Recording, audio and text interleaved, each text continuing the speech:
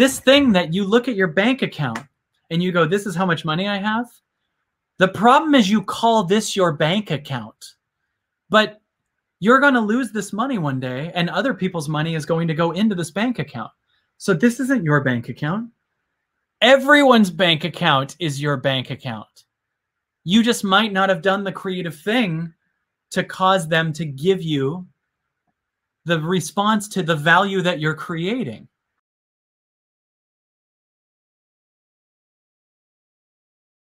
Why don't we start out by connecting to what really is, in my opinion, the most important thing to connect to, which is this moment right here.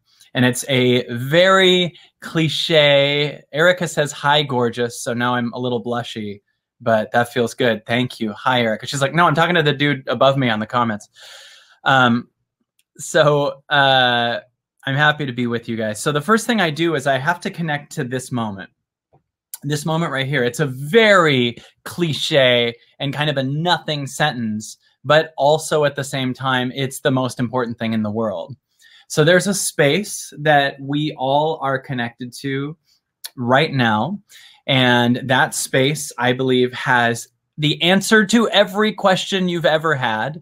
It has new possibilities in it. It has growth. It has freedom. It wants to remove all the old stories away from you. It wants to heal you. It is a natural state so some of the people that are on this call are on the Wednesday night calls because we have this thing called the Absolutely Everything Pass. And the Absolutely Everything Pass is one, it's all of our content that's archived forever. It's awesome. But every Wednesday night I do a call like this. And we renew ourselves with these calls. We have new revelations. We have this community. It's awesome. So it's an interesting thing to do it with this many people tonight and just feel into it for a second. And then I notice these feelings come up. And what's my job? What's my job when I feel it is to connect to the moment. Because even though this is a giant amount of amazing people, this moment right here is even bigger. Do you understand what I'm saying? And and I don't mean it's better than you. I just mean when you get nervous about your job interview, when you get nervous about, you know, what you're going to do uh, you know, on a date, what you're going to do in your life, the first thing we have to do is connect to the now. So I often do two to eight hours a day now of listening to silence.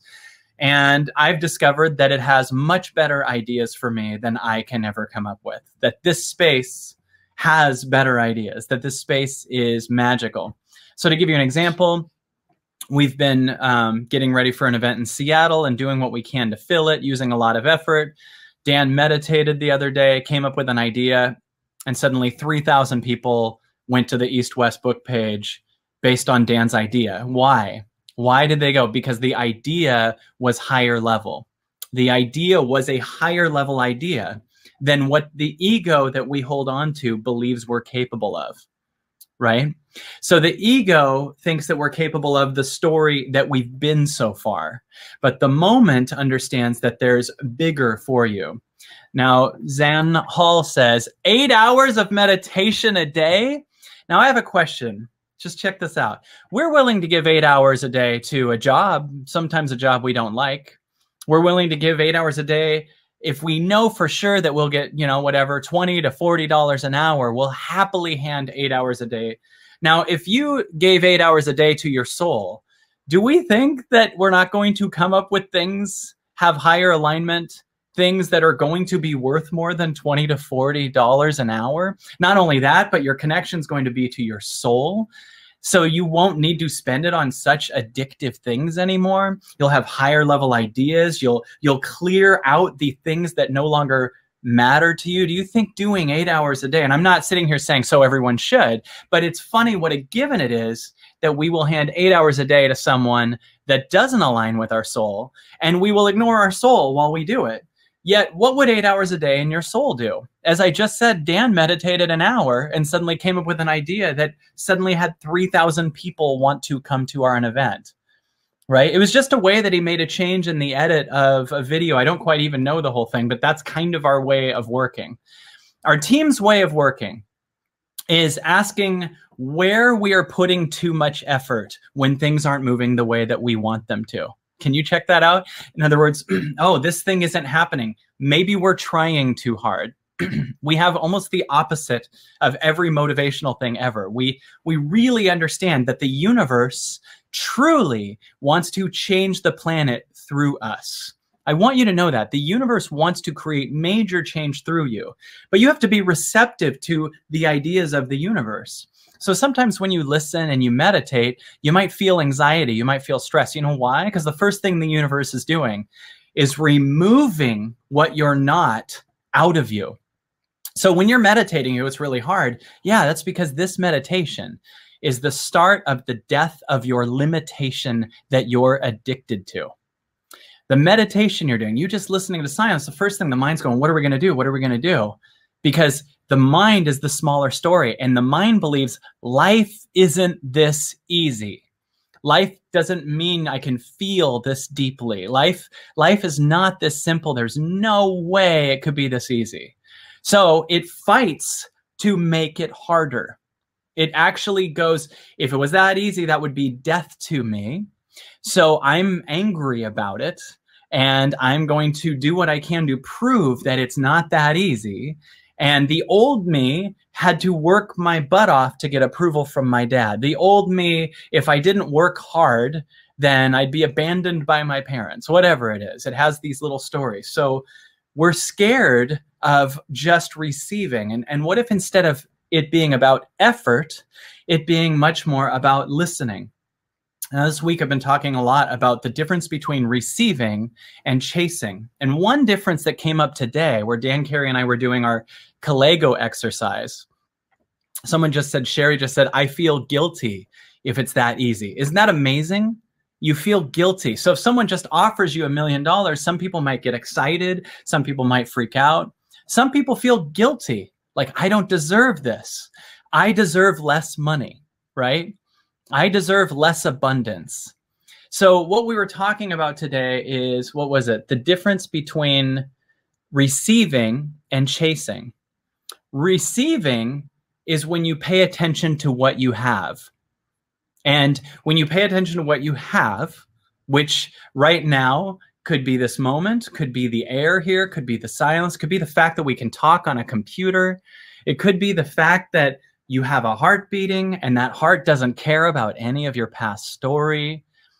It could be all of these things. What do you have? That's the difference between receiving. Chasing is when you focus on what you don't have and you put the vibration of don't have over and over and over again. You could even chase things that you don't have, but think of it as you have it. That would be different. Like if you started saying, thank you for whatever, this abundance, thank you for this moment, that's different.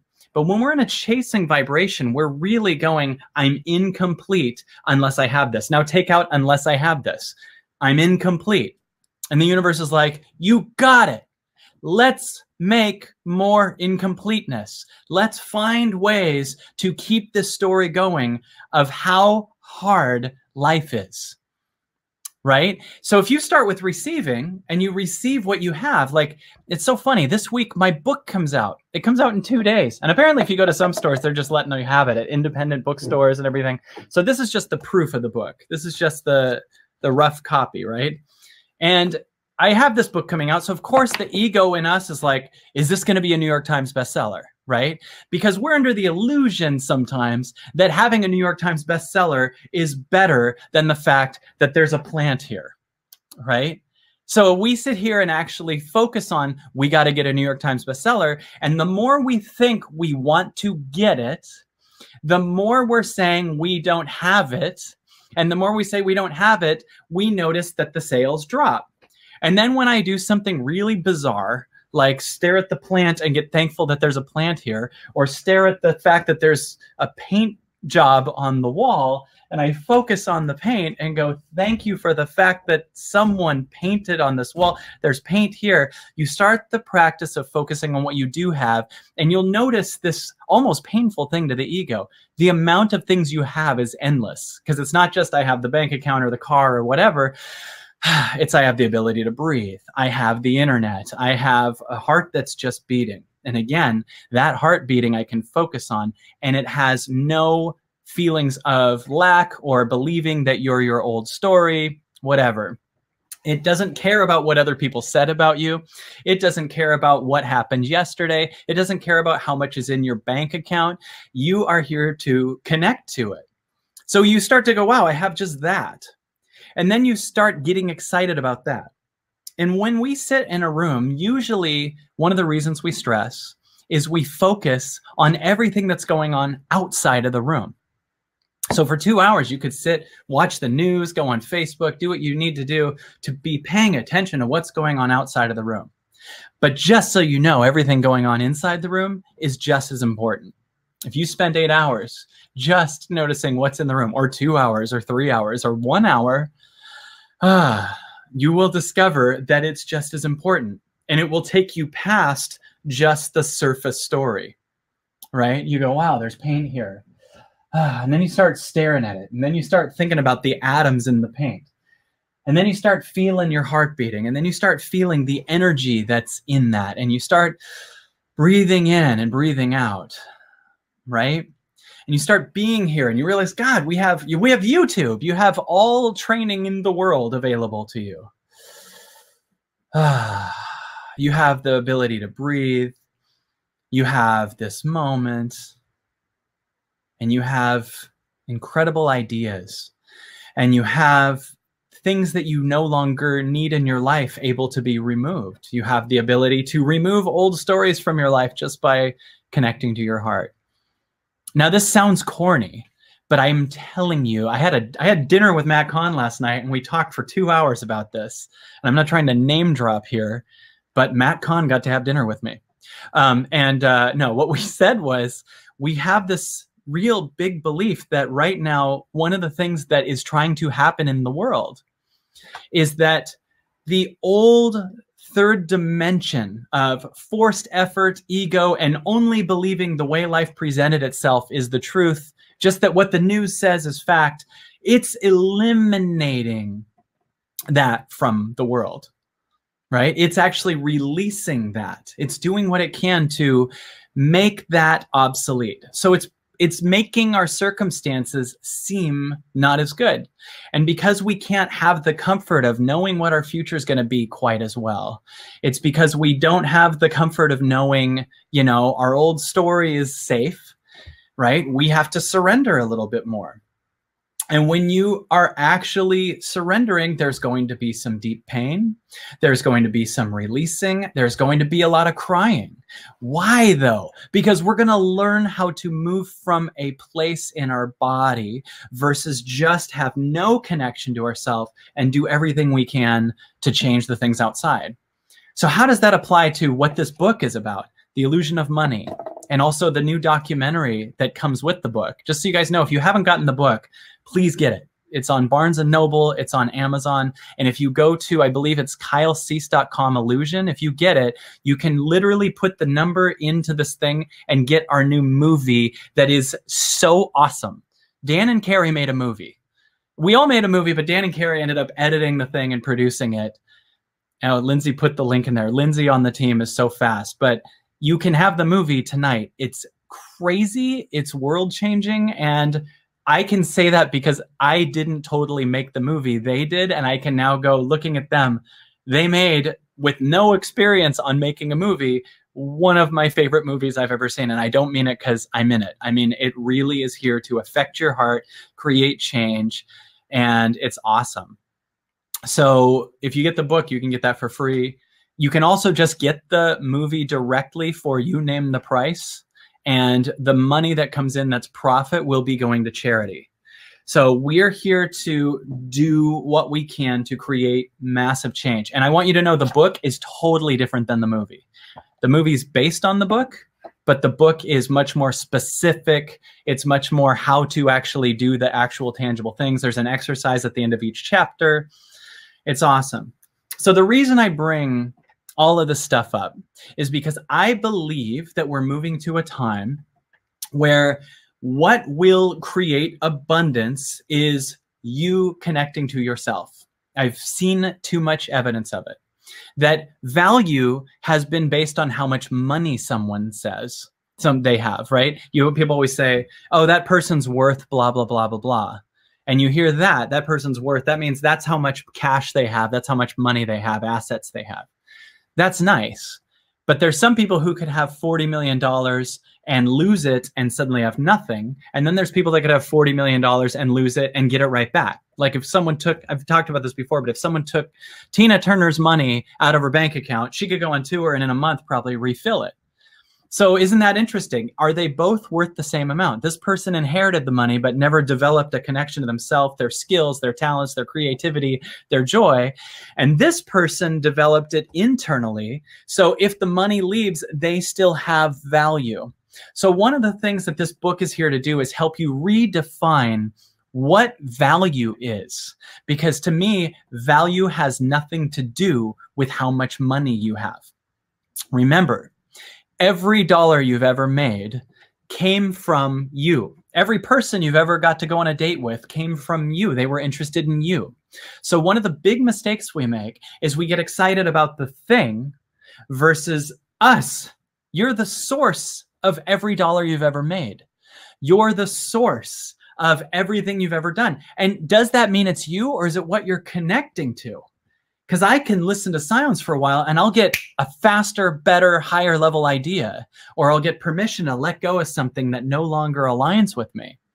So if we went for a walk, and I think I said this on Lewis Howes's podcast, but if we went for a walk and I rounded a corner and I found a waterfall, we're in the woods and I don't tell you about the waterfall, and I come back with a cup of water, wouldn't it be weird if I was like, look, a cup of water?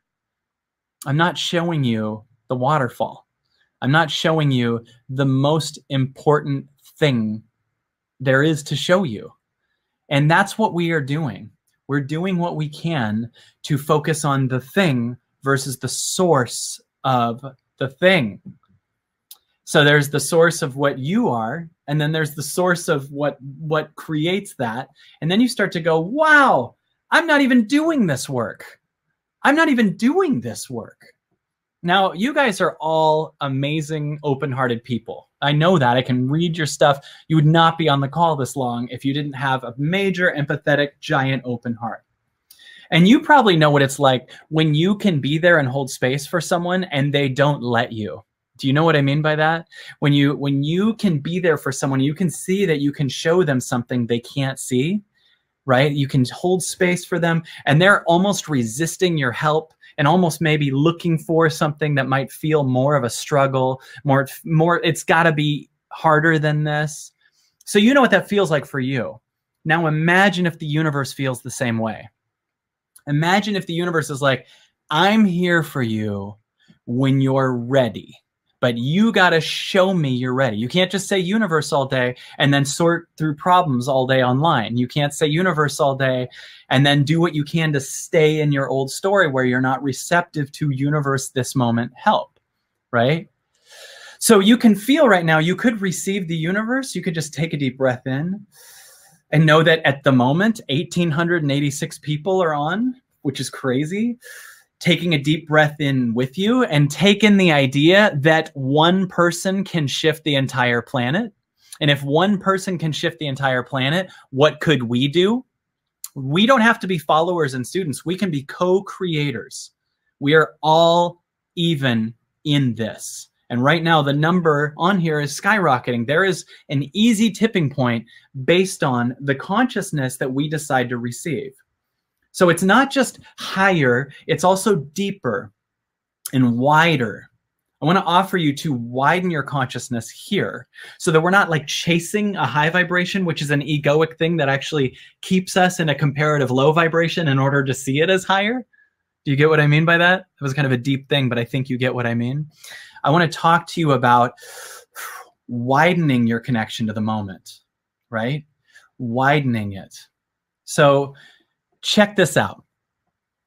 I would rather have an hour left of my life deeply connected more than a long life shallow connected. Okay? Life is it's been taught to us to measure life based on how long we can live it. And because of that, there are a lot of people doing what they can strategize, protect, get locks on the doors, do everything you can to worry because we got to live. So there's a lot of people worrying about things that are going to happen next year. And I thought to myself, why are you worried about that? Why do you even want to stay alive next year? So you can worry about the year after? In other words, your thing is worrying. So you're going to spend this entire year worrying and get to next year. And let's say it doesn't happen. Okay, good. We can stay alive. And I can worry about this year. I can worry about this year so that I can worry about next year. Right. And I see a lot of people that are always worrying and doing what they can to protect a life that they're not living. And the more you're not living it, the more you're putting out this life isn't that valuable right? So it's an interesting thing because we do what we can to save the nature and the trees, but we rarely go live in the trees. We spend our days at the malls and Starbucks. So the moves we make tell the world, right, that this is where it's important based on what we do, right? What if you knew that the forest and the cabins in the forest had value? Because a lot of times we make decisions based on not connecting and not having value based on saving money, which basically is a scream to the universe that money is more important than my soul. It is. That's a triggering sentence, but it doesn't make it not true. When we make these decisions and say, yeah, but I can't afford it, you're actually asking for more of that. And you don't know what happens if you sacrifice the need for the guarantee of money for your soul. Now, sometimes our 10 vibration will include bringing in money directly too, but this is really, really, really big, right? To understand that we've lived in a world where I have so many people that say to me, Kyle, I work my ass off. I'm trying as hard as I can. I work my ass off all the time and I can barely make ends meet. And I thought, what if the problem is that you're working so hard? Like, what if the problem is that you're all effort while totally depleted? What if the problem is that your old story is doing all the work and not a higher vibration? What if actually the part of you that's working needs to be totally cried out of you and we need to see what present moment can do? What if instead of hard work, we vibration work? What if instead of staying in the past childhood story that's working your ass off so that you don't get abandoned by a parent or so that you, you unconsciously have this feeling that your dad will be proud of you, you instead delete and remove with love the old story and you end up here? Can you take that in? What would happen? And you'll hear me say that. And when I say that, notice the part of you that goes, it's not that easy. He doesn't know my story. Easy for him to say. You get what I'm saying? And if you feel that way, if you feel, it's, I don't know why it's freezing, hit refresh. shouldn't. So, hmm. So it says it's frozen. So, okay. So this is supposed to be happening, right? So we hold space for that for a second and it says it's back right? I believe that that freezing moment, because a bunch of people said it's frozen, was a moment for me to connect to source again, right? So that's how you start to go, what does this outside thing mean I'm supposed to connect to? Because life is a mirror of you. And if you think life is off, life sucks, it's not making things happen, right? Then you are getting feedback. It's a mirror of you. There's so many people on here right now, 1,934 people right now. so yeah, we're here right now. And the first thing I want to do is offer you to connect to the beating of your heart and know that that beating of your heart is beating my heart. It's the same thing. And we'll talk about this in the movie. If you haven't seen the movie yet, please check it out. But I talk about this deeply someone said, What about people that think that's narcissistic? What about it? Those people only exist in your mind, right? There's them. And what if someone told Michael Jackson in 1980 that for him to make the thriller album would be narcissistic? That's their projection.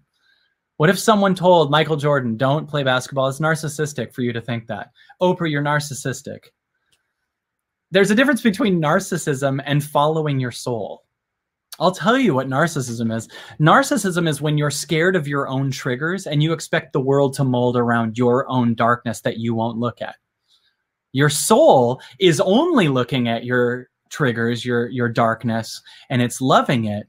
And when it brings love to it, it has a next calling that's higher, that's more, right?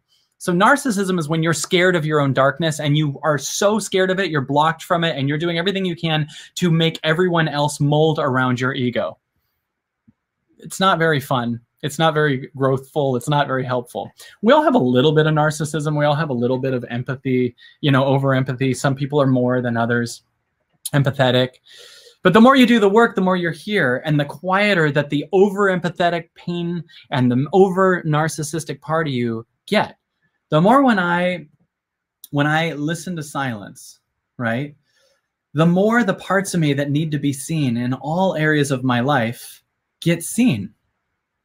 You know, the number one thing that every person wants is to be seen. And what is going to make us change on this planet? What's going to shift us on this planet is when we start to learn how to see ourselves. Right? So the number one thing we all want is to be seen but we will shift when we see ourselves. So if you right now, let's do an exercise. If you right now took a deep breath in, so Sam just said, I'm so over ego. And I want to offer Sam to not be, because only ego would say that. So, what I want to offer you, Sam, is to accept ego, because the number one thing the ego needs is to be seen and loved and respected by you. Do you get what I'm saying? This, this, the ego needs to know it's okay to exist in your body. That's all the ego needs. The ego needs to be loved. The ego needs to be accepted. The ego needs to he- to be heard. That's a childhood story that feels totally unheard. So on it, so so it's just a quick thing on that. That that only ego says I'm going to get rid of ego because it's a job for the ego. What if there's nothing to do and we hold space and a love that's even bigger for the ego and the moment? so take a deep breath and we'll do a quick meditation, just a quick few minute meditation, just to even notice the spaces of awareness raising, right? The old paradigm taught us to think positive and by thinking positive, we imply there's a negative. And in today's paradigm, in the 2019 paradigm, I want to offer you to love everything that comes up, right? To not just think positive in a way to avoid the negative, but what I really believe is what we're here to do now is also accept the things that we perceive are our darkness. And know that the only thing that makes the things that we perceive as darkness darkness is our judgment of it is our belief that it shouldn't be there. Now when we connect to the moment we discover that this moment can hold space for a lot. There's a lot of crazy stuff going on in the world both good and bad. And if that can happen in this space that means it can hold space for everything you have in you. And if we listen to the space and we surrender to the space, our darkness, our fears. Thank you, Reggie. I, I like what you said. I liking. I'm liking what you're saying. I'm I'm liking what you're hearing. That's actually still complimenting me, but thank you. But you're me, so you're saying it. So good work. But thank you so much for listening. So if you take a deep breath right now, you'll notice that this space starts off maybe showing you your darkness. If you listen to silence for just a few minutes, take a deep breath and listen as all of the thoughts show up, right? Just listen. Maybe it's, uh, what do I do about this? Or he doesn't know my story. Or I got to figure this out. Or I don't know how to meditate. Let them be there. And here's a dare for you don't answer those questions. Let the questions that are deep in your chest and your stomach show up, but don't answer them. Don't answer them. Let them show up and don't answer them. Let, let questions be there because that's an inner child with questions, deep pain. But the mind answers them. So let's let them be there.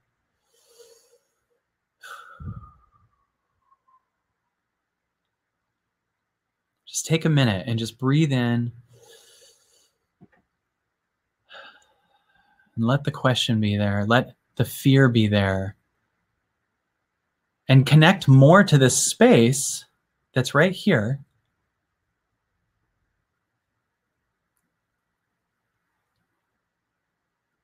And receive this space that's here. Don't chase the space, receive it. It's already here and receive the darkness that's coming up. Remember, if it's coming up, it's coming out. Anything that comes up is coming out. Don't figure it out. Don't try to answer it.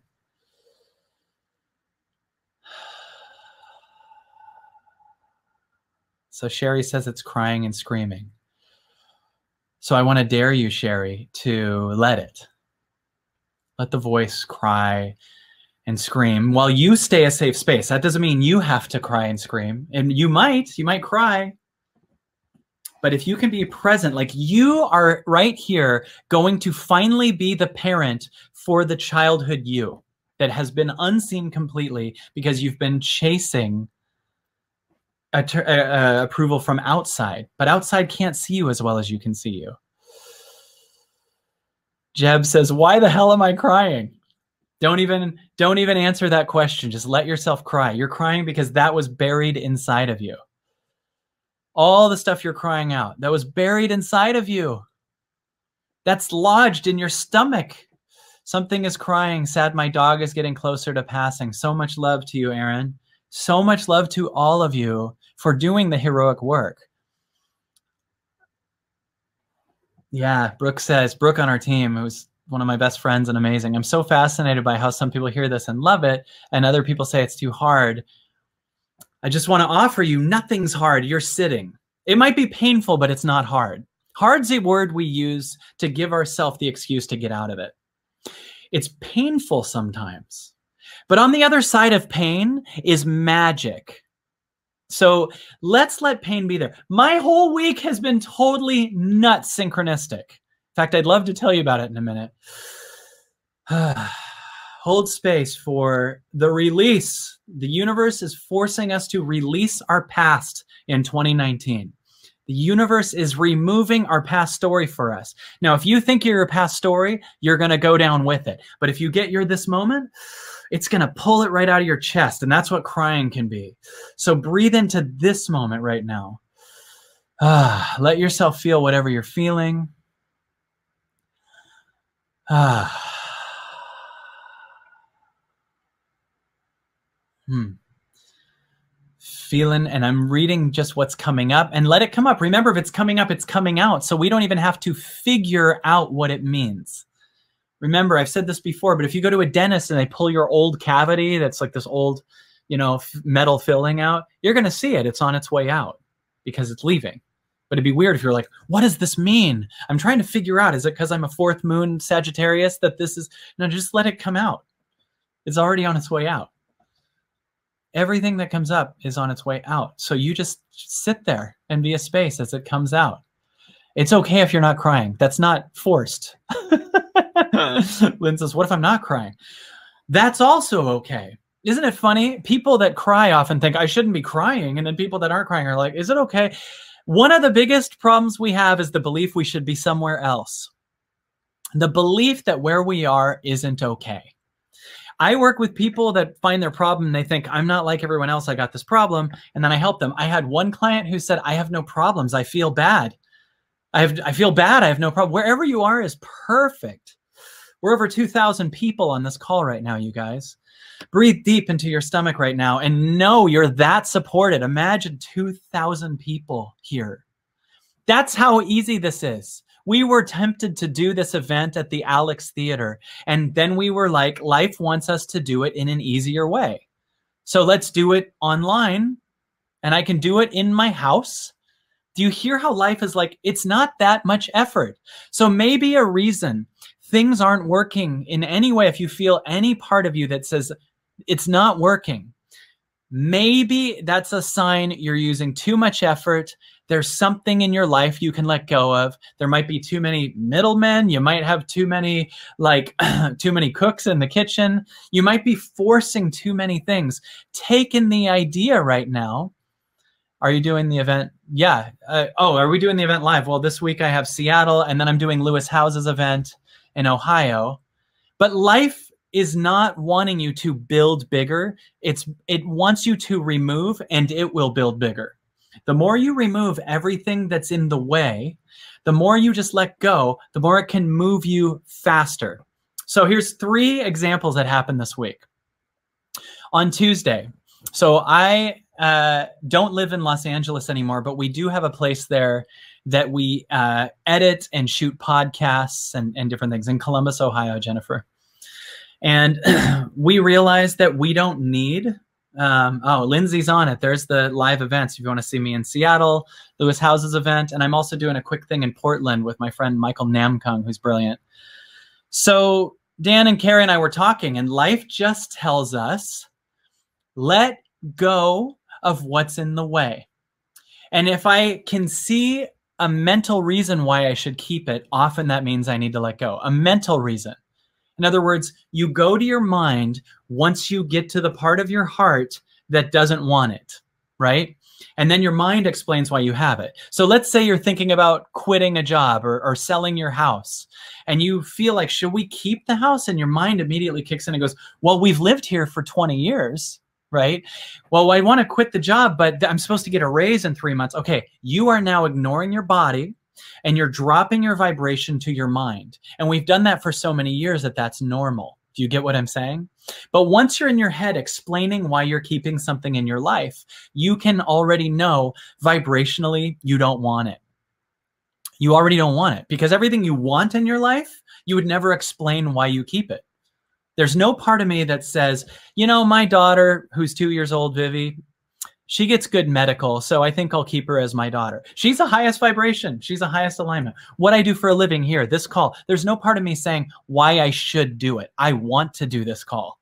It's fun. I'm growing. I'm learning as I'm doing it, right? But if I was like, it'd be good to do because then we can build an audience, then my lower vibration would be doing the call and you wouldn't have my heart talking you'd have ego and you'd see right through it. You'd have fear and creation and manipulation and no universe can work through that. Because i'm because i'm trying to do it because i want to get something versus let's go. I want to create change. I want to learn myself and everything. So we have this place in venice that we decided do we want to hold on to it and and we it's it's an expensive place. It's a gorgeous place. And i totally came up with a reason why we should keep it. I said well we wanted to produce and record a bunch of podcasts there. We actually already did. Oh my god there's there's another reason we should keep it right? We've we've recorded like 12 or 13 podcasts there. We've put all this money in there. Yep we need to let go of it. I just said to dan and carrie we don't want the place we're coming up with reasons to keep it. We don't want it. So that Tuesday, I said, let's not renew the lease. Let's give our notice. We're out. Okay. The next morning, I'm in Seattle on the BJ Shea morning show. He's one of the number one radio shows. He had seen my movie and he'd seen my events before, the new movie that we have that comes with the book. After the radio show, BJ Shea takes me to breakfast and for two hours sells me on why he wants to give me my own nationwide either podcast or radio show. Okay. And they'll produce it. So we don't have to pay to produce our own podcast or radio show. That didn't happen. That BJ Shea's known me for years and years and years. And that did not happen until we removed the clutter of the old way of doing it. Got it?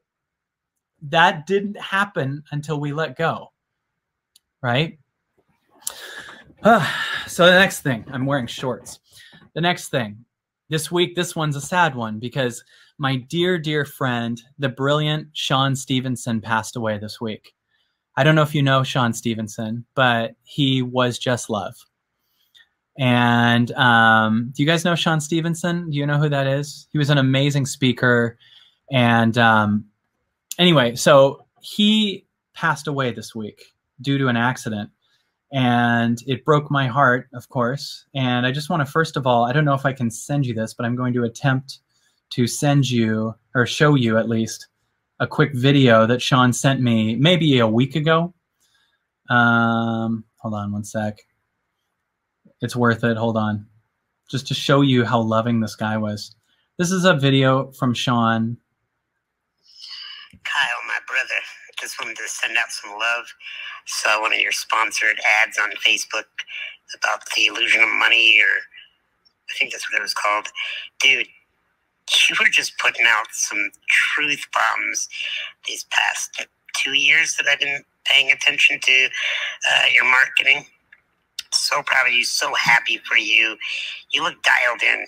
You look like you got what you want, and you're just getting more of it every day.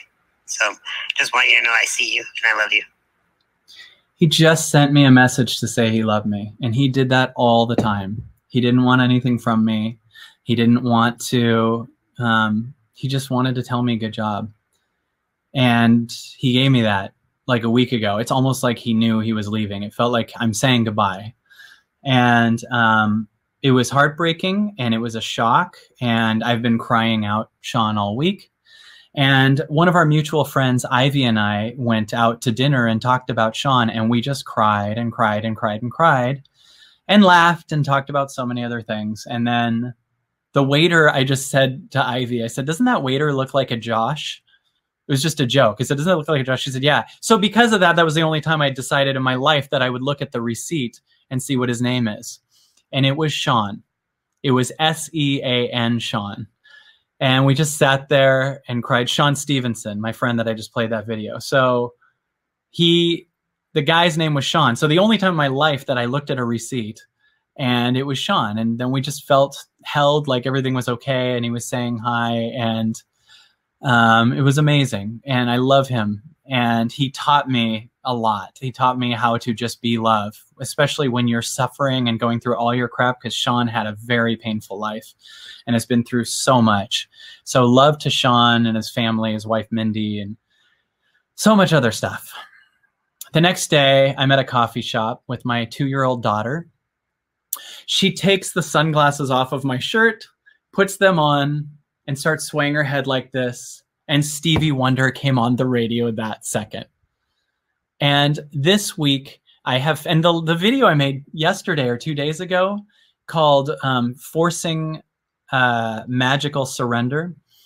You'll have to watch it because the timing at the end is crazy. But my point in all of this is that life is getting to be a combination of pain, release, magic.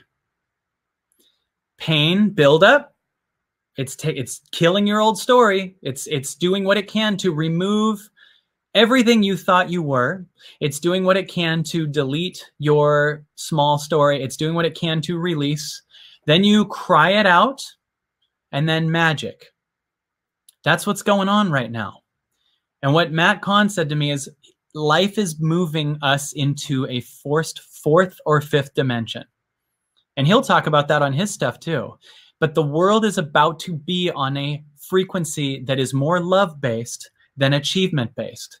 And the more you decide to not fight it and stay in the achievement world while the world moves to love first, the moment first, you will effortlessly have so much more created through you.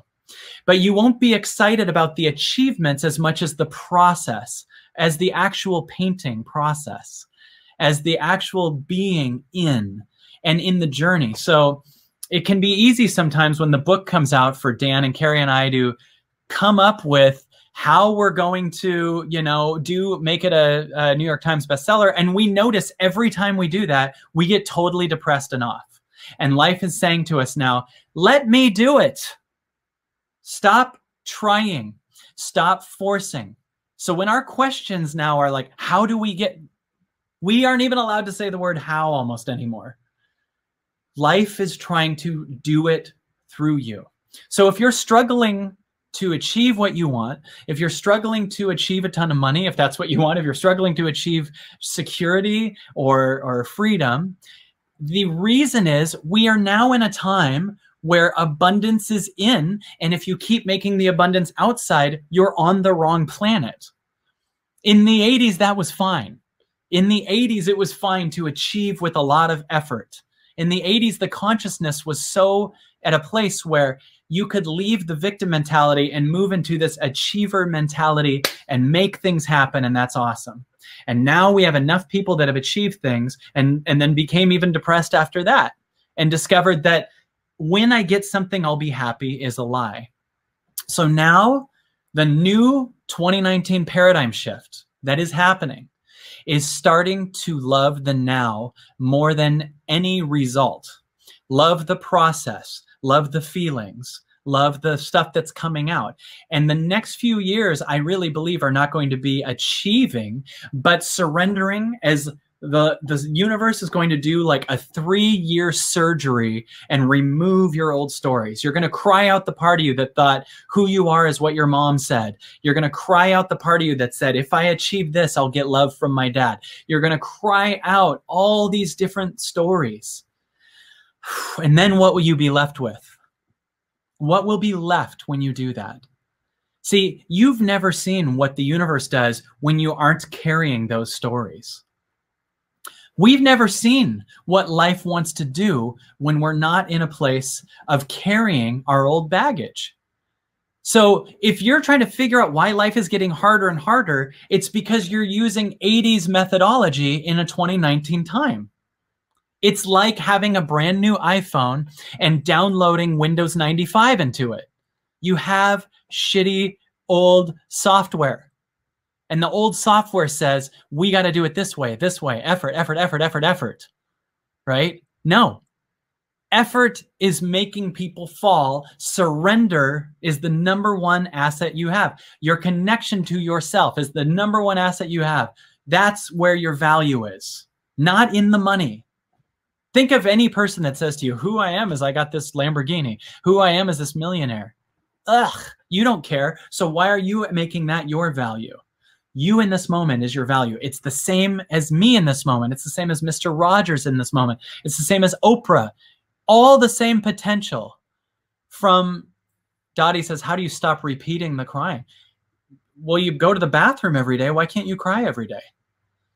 Why do we need to stop it? You have, you pick up shit from the world and then you got to go to the bathroom, right? You pick up food and you got to go to the bathroom, right? So in this time, we're going to be crying a ton. We're going to be letting go and crying so much. And then what's on the other side? Remember, when you cry out something, you now create a vortex and a space that the world and the universe has to fill. Now, if you stay on your old channel, you're going to fill it egoically really quickly with the same energy. Like, let's say you release a relationship that doesn't align for you, and then you fill it the next day with the exact same type of person.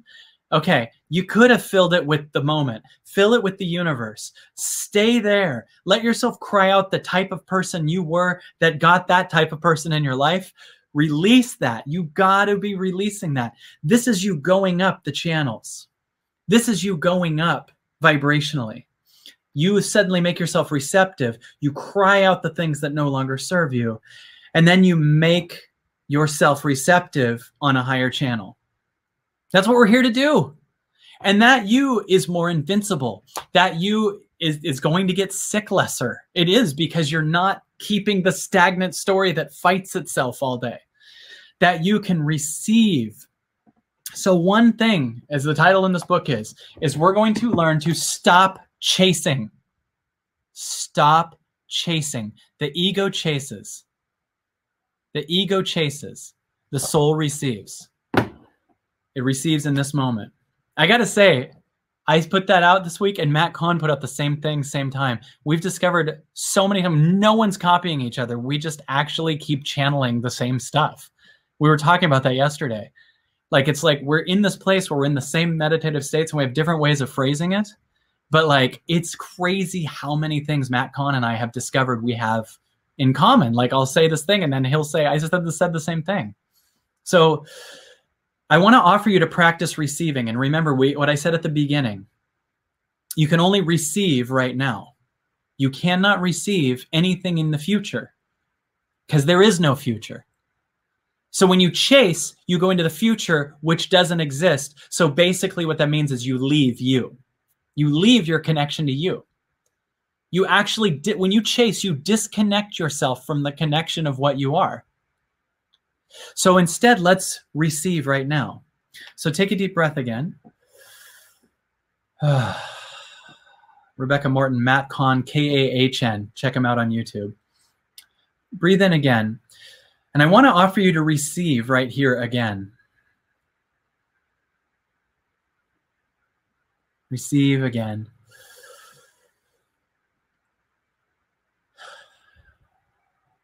Now receive your darkness. I want to dare you to hold space for not only receiving this moment, but also receiving your darkness. Can you hold space and just be there for your darkness?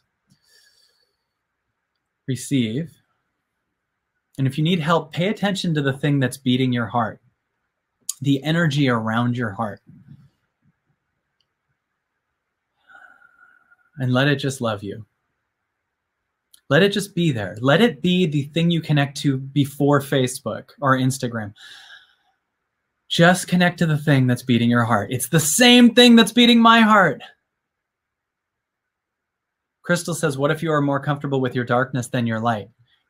That actually usually means that that means you're not comfortable with your darkness because that's a lash out, right? And then you're actually making your light your darkness. If you're more comfortable with your darkness than your light, you're just making your light your darkness. So it's still darkness. Darkness is only what you resist. So I want you to allow whatever's coming up, whether it's you perceived it as your light or your darkness, let it come up. Let it be there. So someone said, please explain your meaning of receiving darkness. Let it be there right now. Look at it, befriend it. Don't fix it. Don't get rid of it. Don't chase it. Don't figure it out. I just want every aspect of you to be there. So breathe in. It is okay to feel darkness, yes. So breathe in right here. And you might notice that there, there's a block to a certain part of your body. Some of it you it might be in your stomach, some of you it might be in your chest. Does anyone feel a block in their body? And I want to offer you to imagine that as a trap door, like the block opens up. And what's under it can come up. Let every aspect of your body be there. And if you're going, I can't open it, let it be there closed then. We love it no matter what. So breathe deep into your body. It's in your throat, it's in your back, it's in your knees. Let it be there. Bring love to those areas and love to all of you, where it is and where it isn't my heart just literally hurts. Now, I want you to want that. I want you to let it be there. Let it hurt. Let it hurt. Like aim at it and go, you're allowed to hurt because it wants you to be seen. It wants you to see it. See, our pain is when we go, I got to get it to stop hurting. Now we're not listening to it. You are bigger than everything that hurts, right? So bring attention and love to where it's painful and actually allow yourself to, if you want, want more of it. Bring more light onto it. Yes, I'm for it. The, what keeps pain going is you running from it. So I love it. You are allowed to be there, all of me, all of me. And then you go, it's not working. What's working? You're trying to get rid of it? Let it be there. The only thing that's showing up is a sign that you're trying to get rid of it. And that means you're not surrendering to this moment. Ooh, you are bigger than everything that hurts. There's no circumstance that is bigger than what you are. And this is a coat off one. You're this moment. So breathe deep into that. Breathe deep into that. Breathe deep into your stomach. Breathe deep into beyond your stomach, breathe deep into your legs. And I want to offer you to bring in some mantras like thank you internally. You can breathe in the words thank you and breathe out the words thank you. And you're going to feel some pain come up, possibly. You might feel some giddiness. You might feel some pain. Breathe thank you into it right now. Breathe thank you. Breathe out thank you. Awesome. Breathe in. Thank you again. Breathe out. Thank you. You'll also notice there's a part of you that's bigger than it. Imagine you've been sitting on the surface of the ocean, and imagine the pain is two feet deep. Well, we're going to go four feet deep. You get what I'm saying? That takes you beyond the pain. You're bigger than it. Your power is in this. So breathe in again. Love that your heart physically hurts, Josephine. Breathe out. Got some biceps going there. That's right. Body beast. Breathe in. Breathe out. Yes, this will help with the numbness. Want the numbness there. Every part that you're calling the thing that you got to fix, want it there. Will this help with the numbness? I love the numbness. Will this help with my anger? I love the anger. Will this help with the block in my stomach? I love the block. You are allowed to be there. I love you. I am bigger than you and I will hold you because you're telling your inner child that wanted love from your parents when they couldn't give it to you that now you see the inner child and that it's priority. And you're bringing in the power of this universe to see it. Ah, breathe that in. Body Beast. Breathe that in right now and know that I do Body Beast and I get the smoothies afterwards. Breathe that in. Deep. That's where the biceps are coming from. Love the lump in the throat that will never go away. Yes, it's never got to go away because you keep wanting it to go away. Want it there, Brian Hecker. I love the lump in my throat for real. Not I love it so it'll leave. I love it for real. Now you're a place for it. Are you guys with me? This is big. When you cry these things out, you change your channel because you're no longer holding it is Beachbody. You're no longer holding the old story. It's better than P90X. It's it's body beast. Now, breathe in deep. Breathe into your stomach, breathe into your legs.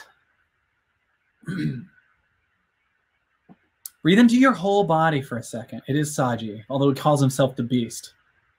And every time the guy behind him writes down stuff that's supposed to be how many reps he did, I picture he's just writing down everything that guy said so he can make his own version of Body Beast. Like, hey, it's body creased and it's okay. Anyway, my this is my point is that the, the biceps are growing. So take in a deep breath. Now, that's a start. I'm going to tell you a couple tangible things as far as money that are in this book, just a couple things here. And then I'm going to answer some of your questions. Here's one. This is one I've been talking about on a lot of things right now, and I love it. Imagine how you've thought of money up until this call. What are your what's your subconscious think about money? When you look at your bank account, what does your subconscious feel? okay.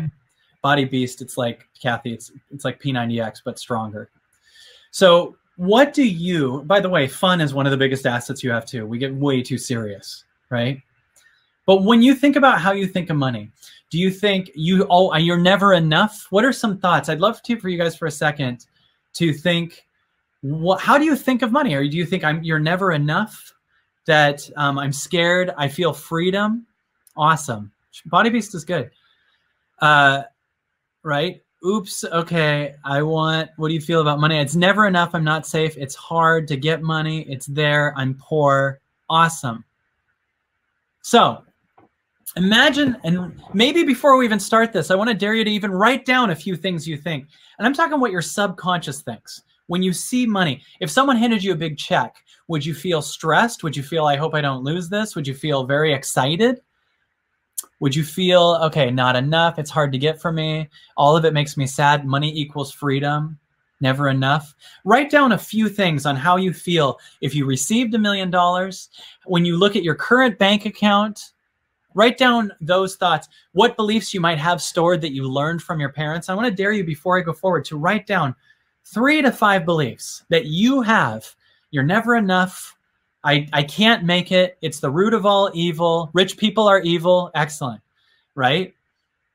So go ahead and write those things down for a second and be really honest. We got to be honest to really look at how we treat ourselves, how we treat money, how we treat life, because this isn't about money. This is about you. It goes too fast. I only have $400 and no job. I only have. So $400 is only have. Your perception is only. Do you guys hear that? I worry about money. Terror because my family was previously killed by communists for being wealthy. Well, so much love to you. Wow. So that's that's a deep-rooted trauma as far as money. And I'm sending so much love to you. I didn't catch your name, but so much love. One million dollars will give me more freedom. So I'm going to show you. Ginger says, How do we balance our relationship with money? So if you guys have three to five things written down that you believe about money, now I want you to imagine money scares me, right? I want you to imagine now that your money and you're on a date with you. Imagine your money and you're on a date with you. And you have this mentality you're never enough. You're the root of all evil. You are terrorizing me. I need you for freedom. Imagine if you were on a date with someone that said these things. It's because of you that I can't get love. It's because of you that you're never enough. If you were on a date with someone and they said those things to you, would you want to stick around? Right? That's that mentality is actually you keeping money away, abundance away, receiving away, right? And if you think about your debt or really low amounts of money and say it's never enough, okay, well, that's like going on a date with someone and they're having an off day and you're like, you're never enough. If you were having a bad day and you went on a first date with someone and they said you're never enough or you're the root of all evil or I'm going to use you to get laid or to get someone to like me, would you want to stay there? No, what would be the thing you would look for if you went on a date? You would want to know that you're loved as is. Can you feel that? You would want to know that their connection, maybe for me, I would love to know that their highest connection is to themselves. So I don't have their codependency or that I don't have them blocking me, that they're a big open heart, that their connection is to themselves more than money. Can you see that? if your connection is to you, then money will come to you because you're safe. If your highest connection is to you, your love, your creativity. Imagine some people said money equals freedom, money equals security. Do you see that means you're not security? Just by saying money equals security, you are saying that you are not security that you yourself is not security. And I know people that were totally broke and made millions of dollars and said money is security, and they were more insecure when they had the money.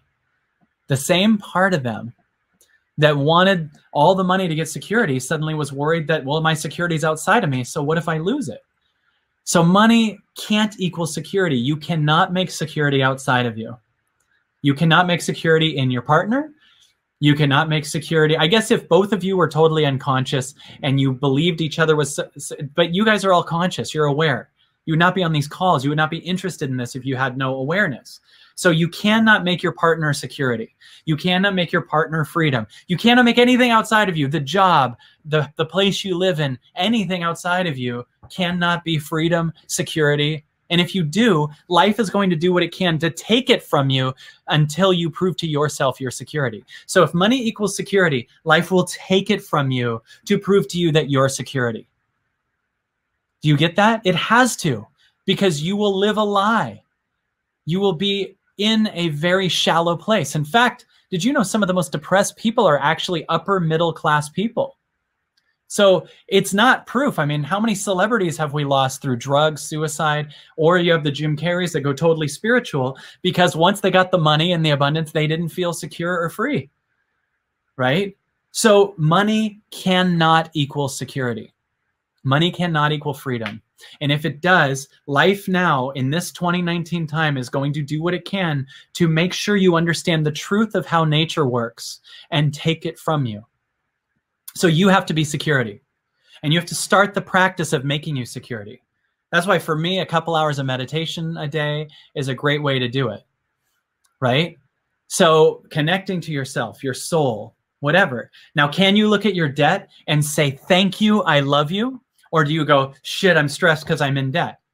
Because then you're against yourself. And how could you be creative intuitive, let go of the things that no longer align with you, joyful, fun, funny, all of those amazing things if you're in resistance to what is. We have to start out loving our debt. We have to start out loving our low amounts of money. We have to start out loving the the whatever we have. We have to start out by appreciating what we have, and you have this moment, and build an abundant belief system. Build an abundant life by constantly being in the practice of what you have versus constantly chasing what you believe you don't have. And another thing, this thing that you look at your bank account and you go, This is how much money I have. The problem is you call this your bank account, but you're going to lose this money one day, and other people's money is going to go into this bank account. So this isn't your bank account. Everyone's bank account is your bank account. You just might not have done the creative thing to cause them to give you the response to the value that you're creating. The money in the bank account is not your bank account. You're just making yourself so small. Everything in the world is your bank account. Have you created a high enough alignment value for those things to happen? Oprah understood that the world's bank account was her bank account, right? That everything is yours. This idea of ownership is what shrinks us from wholehearted into shrinking, right? This is all in the book, by the way. Ownership, the illusion of ownership. Dan actually came up with a great analogy that's in the book about imagine going to the beach and bringing your own bag of sand versus enjoying all the sand at the beach. And you just keep packing the sand and going, this is mine, this is mine, and I don't want to spend the sand. Yeah, but it's all here. And you can't see what you are on the other side of your giant backpack of stupid sand while you're at the beach. Raise your value, your alignment, you. Raise you. Right? So you have to raise you. And when you raise you, trust me, you got the whole damn beach. Right? You got the whole beach. There's a lot more there. But when you go, this is mine. That is so crazy. We we have all the land to share. But really, ownership just means you can't be here too. That's all that means. Right? So, yes, there's a park you could go to. It's totally free. You could go to it. It's yours. But if you're like, no one else can be here, that's ownership right? But other people can be there. So you all get to have the abundance of the park, right? This is really amazing. And if you really understand the vibration that you have to shrink yourself to, to have the false belief that your current bank account is your money, think of how much it shrinks you. Think of how small that makes you feel. Yes, no one really owns anything. All the stuff you're trying to achieve, will it come with you when you die? Probably not. I hope I hope the car doesn't come with me. Right? So there is no mind. Play with that for a minute. Think about that for a minute. Ownership. How about love? How about we just create the highest alignment? and things will want to come into your life because you're the safest alignment there is. The ultimate relationship does not have to be an ownership based relationship. You don't have to say, You're mine and I'm yours. You better not do this. We made this deal six years ago. You could also just completely get into the highest alignment, be the best value, and they will choose you. You don't want people to stay with you out of fear. It's not sustainable. You get that. Money is the same way. If you're keeping money out of fear, I better hold on to this. I better not spend this on my dreams. I better not move into my heart. I better not spend this on what I actually am here to do. Fear is keeping the money. So money will go down, down, down, down, down. Spend money on you. A money, B money, C money. A money in the book also. I'm not going to tell you too much because I want you to get it and get into the book. A money. No, I will tell you a lot actually. You still get the book though. A money is when you say, I, at A money, you go, I am going to take, let's say everyone, let's say everyone got a million dollars. A money is if you spent the money on a bunch of stuff that numbs you, that makes you excited in the moment, but you don't put it into anything else. A money is when you go, okay, I got a million dollars. I'm going to have a bunch of parties. I'm going to buy the most expensive car. I'm going to do what I can to get people to like me. That's how most of the public spends their money. B money is when you put money into accounts so that they rise themselves, right? So the kind of um, Robert Kiyosaki, Rich Dad, Poor Dad, put your money into mutual funds. Money makes money. That's awesome. That's a big thing to do. It's great. Huge fan of it. Might not change who you are, though. C money is when you put it into something that will change you. So let's say you had enough money and you do something that changes you. What I mean by that, you take that money and you take a year off and you meditate. That's going to change you. You get a personal trainer, a nutritionist, you get piano lessons. Everything in your life that's not a 10, you hire someone else to remove it. The things in your life that you do that are professional that are not a 10, you hire someone else to do it. So that's C money, where you spend money and actually you transform. You change your value. Where even if they wiped out the dollar and there was no money left ever, C money is you are worth everything, even if the dollars, because you're worth more than money. So if the dollar's wiped out, you're still here. And I promise you, at one point, a ton of people are going to lose their money when the recession happens and all this other stuff. And if you have high value, you're going to be one of the most valuable people in the world. They're going to come to you because you are going to help them through the transformation into their value. Only people who've made their connection to themselves the highest value will be able to show other people that money isn't the highest value and that what they are after they lose the money is magical. So C money is when you change you, when you invest it. Now you might go, I have no money to invest in that. That's because you've been spending it all on A or B money. But C money is available when you start with C time. If you don't have you don't have C money, do C time. Start doing the things that expand your soul.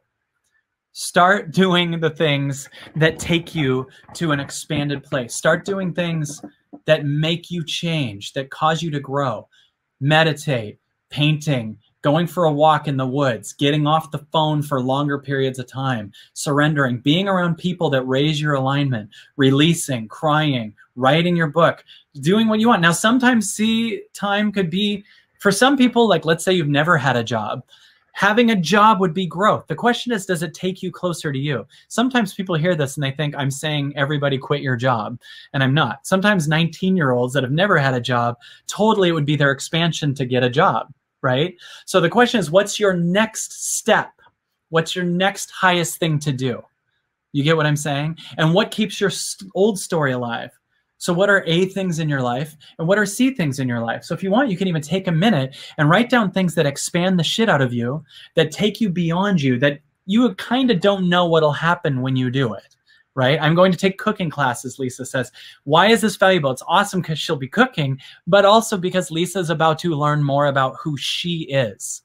More of who she is, more universe will come in. Would I'm going to offer as many people here that want to come up with a C thing that you're going to do this week because we need to create change to create a massive, faster quickening of the vibrational shift that's going on in the world to help people out of their old stories. That is happening right now. So feel free to write down a few things you're going to do now because of this call. I would love to hear that this call helped you and be inspired to make signed up for a writing class. Off awesome. I like to create. And there's some classes people sign up for that they think are C but are A. Like sometimes we have addictions to going to certain classes that actually are stopping us from actually our expansion. So you have to ask your soul, does it expand me right now? Finishing my online program, making jewelry, sitting in quiet, going with my friend Victoria, starting a yoga practice, spending uh, money on a C moment, art, gym, meditation, hiked alone for two hours, healthy lifestyle, uh, ceremonial cacao, Yes, develop a guitar, buy my book. This is a total C money purchase, I'm proud to say. And you want to be a C money purchase for other people. You want to create C money options for other people. Like think of what we we go, oh, you people say to me, Kyle, you're just doing this to make money. And it's so funny because first of all, most of the money from the movie goes to charity, but think about this too we don't question Coke and Pepsi, which gives us cavities in our teeth. A Money has a bunch of hidden other things. Do you guys know that? I'm going to totally read more of these in a second. A Money has a bunch of hidden other problems. Like if you drink soda, you're going to also have major dental work and and possible other illnesses and things like that. Stress, lower vibrational thinking. That is the snake oil of the world, you guys. That's the cult right? It does no value for people, right? It just gets them sicker, right? So create things that are C money opportunities for other people. Because if it's a C money opportunity for other people, it's a win win win. Win for, for the person that created it, win for the abundance that comes in, win because you're growing. Like our team has to do now everything that we wrote in this book. Our team is living this This this call was inspired via via meditations that we learn from the damn book, right? So we have to live this. So I grow, that's one. Two, the people that read it grow. Taking a singing lesson, says the amazing Sarah Haywood. Amazing person. Judy Keating says, do my energy work on me, right? So so a win-win-win is when you get a win for you, which is uh, you grow because of what you do for a living. A second win is they grow, right? Because they they have a higher consciousness, they're better, they they understand things more. You're moving them into a universal alignment. And the third is the world is better because of what you do. You know, not only do soda companies give everyone rotting teeth, but they're throwing plastic in the ocean. In fact, someone pointed out water companies don't make water, they make plastic. So a win lose lose is totally dangerous to your body because two thirds of the losing is in you, right? Giving me a hug, says Shauna. I will take it. Nancy Schwartz says, healing my cancer, and I just want to offer loving it. It's teaching you to love universally. I had someone at our our meditation retreats come to that too if you get a chance this woman came up she was amazing she said that she had cancer she's trying to figure out how to fight it and i said what if it's here to teach you to love so unconditionally that you can love the parts of you that you believe are hurting you and then you'll be able to even have a love for people that you think are hurting you that you can have a learn to love life life is trying to teach us to learn to love like we've never loved before 2019 is about loving like you've never loved before. And it starts with you. It goes start with your darkness, start with your old story, start with your pain. So you're here to learn to love meditation, giving 15% of my savings to a microloan program. Hell yes. Do you guys feel that? The meditation retreats to answer Kathy's question, we do them at Asilomar in Monterey. Please check out our website for that. I'm sure Lindsay can post a link here. Um, there it is. Comes up like that. We have that. We have our absolutely everything pass. I'll mention to you guys if you haven't, we do these calls every Wednesday. Imagine these calls re energizing you every Wednesday night. And all of my content is online. We have the entrepreneurial shift, we have all kinds of different stuff. Check out our extremely amazing, cheap, uh, absolutely everything pass. It's like Netflix for all our content and then we do these calls. So please check it out. I promise you, these things are here. When you're in a win win win, these things pay for themselves over and over and over again. A woman named Chantal, Chantel Rogers, came to see me at Omega, and she was feeling totally broke in debt, trying to figure out her life. She's been meditating eight hours a day for the last two weeks. And her she already lives in her dream house and sold her other house. Like she suddenly has a major cash flow in the bank. She lives in her her dream house, which is a small cabin on a lake, like the kind that you see. I've seen it. The kind that you see on, uh, you know, you see them on like the the memes, right? She has that, so it's crazy. So she's meditated eight hours a day for two weeks, and she's already got a major, I hope she doesn't mind me saying this, but a major influx of cash in the bank when she came to my event totally in debt. So meditating helped her release the old story. She's connecting to herself. She's feeling less codependent. That's all C time, right? So she's in the absolutely everything past community and she's telling her story. You got to see this. You got to see this. It is so much better than spending your money on beer. It is so much better than spending your time and energy on just going out and just aim spending it aimlessly. We're just used to doing that. One dinner and you this stuff is all available for your soul. So please join us, right? yeah, she calls it her job. She says she does 8 hours a day. She's she she says I meditate full time. She's already creating a plan for massive income. Uh, the AEP isn't working for Joanne, Dan, or uh, Lindsay. Just making sure you saw that. So everyone, take a deep breath in, and I'm going to answer some of your questions. I want to thank you again for being with me. I'm totally uh, AEP page not found. Can we get that going? Oh, I know why, because you're all on it. um, wine can be C time if it expands you. The question is, does it expand you? Yeah, we always go longer too. We say it's a one hour call. This Wednesday's call is Matt Kahn, by the way. If you hop on this week, this Wednesday night's call is Matt Kahn.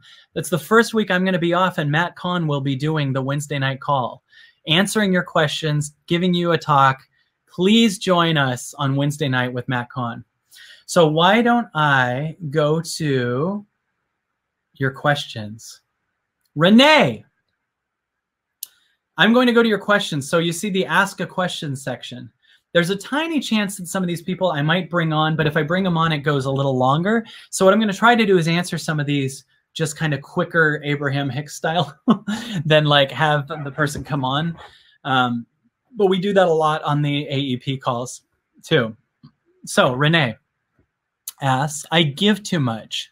I volunteer my time for free. I already know the answer before I read the rest of it. Your growth, your new 10 is often something you've never done. When we usually ask ourselves what our 10s are, it's often something that's within the bounds of what we've seen so far. Do you get what I mean by this? So if I ask myself what my 10 is, if I had an older consciousness, I might say, it's to go do comedy clubs. I'm really good at it. A 10 might be to some people to go get drunk, they think. But if you actually understand what a 10 is, a 10 is often something you've never done. And if I'm hearing Renee right, what she's weaker at for her expansion, expansion, Shauna nails it. Renee's new goal, new life, is to receive. Uh, absolutely everything passes $29 a month to answer the question that comes up. So your growth is receiving. Some people's growth is giving. I can think of a lot of people that I've seen in my life who have received so much and constantly take, take, take, and they're scared to give. I remember I had a client that we do these morning calls. I do the six months of morning calls every single morning. If you're interested in that, write to write Kara at kylecease.com and just write 201 and she'll send you the info on that. But we had this guy, Stas, who's an amazing guy who's been going from event to event, doing all this stuff, all this work. And he said, My parents are divorcing. How do I get them to stop divorcing? And I said to him, Maybe your growth is to give to them. Maybe your growth is to say, If you guys want a divorce, I give you permission and, and want you to know I'm not going to hold on to that idea. And he started crying and he started releasing. So some people's growth is to release, I'm sorry, to give, and some people's growth is to receive, right? So, Renee, one thing that might be your new thing is to learn how to receive. And a big word for you, and a lot of people on here, I know for me too, is the word no. A lot of people got to where we are from saying yes so much. Some people get to where they are from saying no so much, right? So, are we okay on here? It says I'm frozen. Hit refresh. Awesome. So, some people, if you've been saying yes, your growth is to say no, right? So Renee, it's going to be exciting for you because it's not been in your in your, you know, in your in your vibration to say no. So you give, but you give from an empty vibration because you're tired. You give because you haven't received. And receiving and giving have to be even. Imagine if we were all just breathing out and no one was breathing in. You can only breathe out at the level you breathe in. Do you feel that? I can only bring out, uh, breathe out what air I have brought in. So if I'm not breathing in and I'm constantly breathing out, out, out, out, out, I'm going to be exhausted. So I got to say no for a second to the people I'm breathing out and with no air and breathe in. My iPhone won't work if I don't charge it, right? So Renee, it might not have been in your DNA until today, but your growth is to learn how to say no and to receive. So you will start receiving by saying no. Just by saying no, you're going to be receiving, right? Just by saying no. Asking yourself, the people that I'm giving to, what I'm giving to, is it a 10 to give? Or am I doing it because I feel like I have to, because I'm scared, whatever?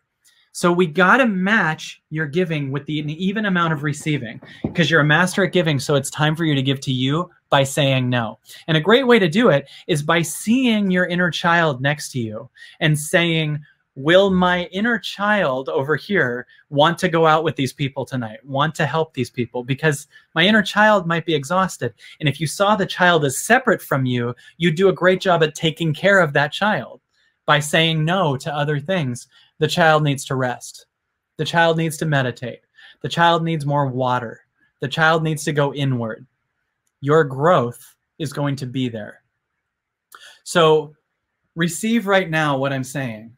and imagine the power of saying no, Renee. Imagine everything that doesn't excite you, take you beyond you, expand you at all. Imagine saying no to it. Even if you said yes to it for 20 years, imagine saying no to it today. I'll read the rest of your thing. I even help others with their own businesses for free. Yeah, you don't think you deserve money? There has to be reciprocation, right? There has to be reciprocation, right? So I even help their businesses for free. Well, you're helping them make money. You're helping them with your time. And by the way, their business can't thrive if they're not giving to you. Just so you know, that depletes not only in you, but it depletes in them. If you have people coming in and you're spending all that time helping them, but they aren't paying you for it, they vibrationally can't receive because they aren't giving. They won't be able to bring in because they're not giving.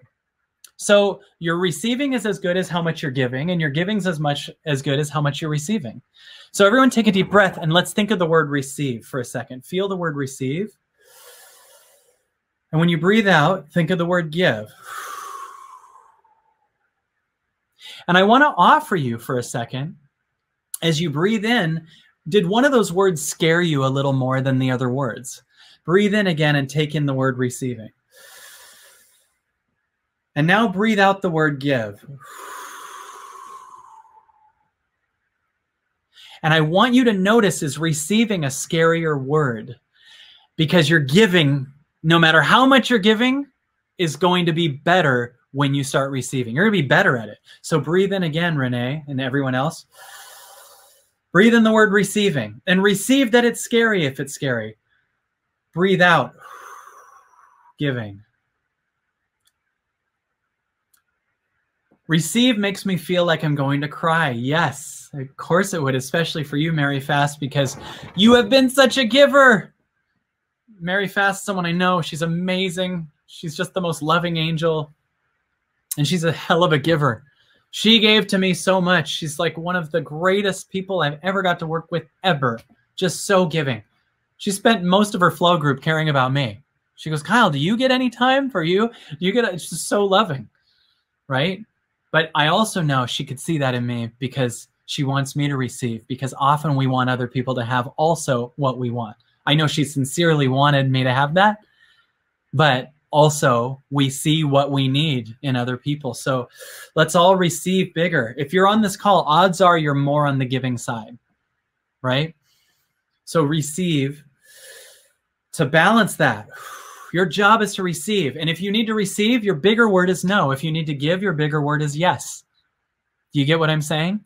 Are you more of a no person or more of a yes person? Have you been protecting yourself and saying no, no, no, no, no? So a yes would transform who you are, make you more of a whole? Or have you been someone who's saying yes to everything and you're a people pleaser? Yes, yes, yes, I'll help you. I'll help you. I'll help you. And you get home and you're like, shit.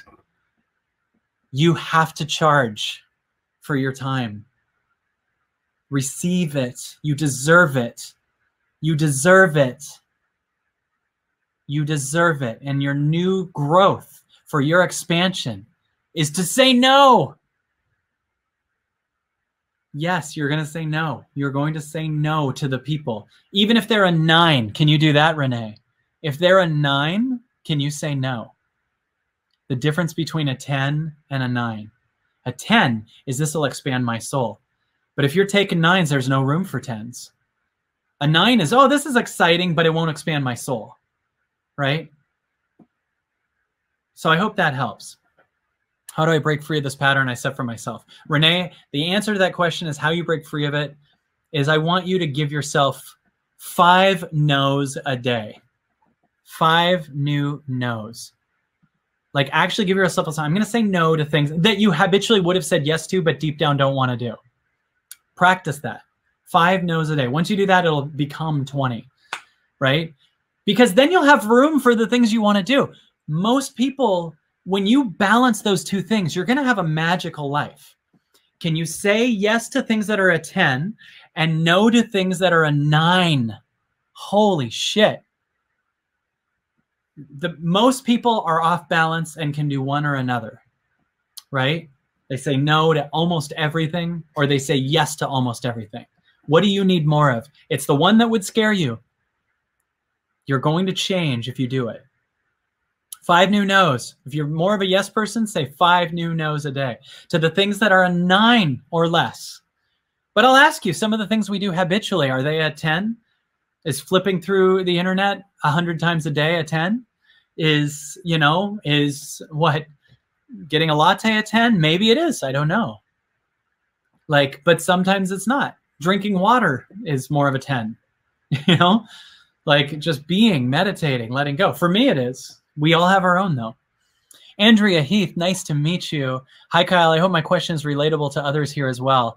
That is so sweet. That is the empathetic, amazing feminine energy that you have that has a question for you and actually is hoping that it benefits everyone, right? Just out of curiosity, I'm just wondering if that sentence also, and I might be wrong, Andrea, shows a part of you scared to receive, right? Because I want to make sure this is good for everyone else, right?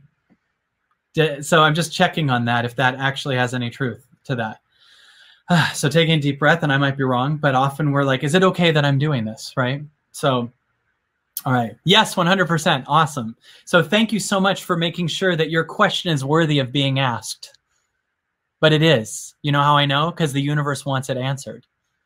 And everything that's happening for you, the universe wants it. So I need to start off by telling you, Andrea Heath, that you're worthy of doing what you want to do, asking the questions that you want to ask. And even if you can't see tangibly that they will benefit other people on this call, you deserve to ask this question. And if at times that I'm going to answer it, I'm going to answer it because you deserve it. I hope everyone got that. You deserve, you deserve, you deserve, you deserve what you want in your life. And you don't have to apologize or make sure that you can see that everyone else will be okay with it. Because most of the things that you're going to really want in your life are going to be inspired ideas. So they're in a consciousness that's past the old stories consciousness. So often people will be threatened by it. Are you guys hearing that? Every idea you have that's inspired, every idea you have that's inspired, right? Is a new consciousness. So often it will scare other people and other people will be threatened. So you got to know that the things that show up in your life that are for you to do, you're going to actually upset people. Not that we're going to do it to upset people, but just taking the idea that the ideas that are coming through are the universe healing itself. And to do that, it's got to create a world that's never existed. So that world that's never existed is going to threaten people who are only used to the world that has existed. You get what I'm saying? So when we do things that scare other people, that's okay if it's truly our highest calling. It'll also inspire other people. It'll trigger other people.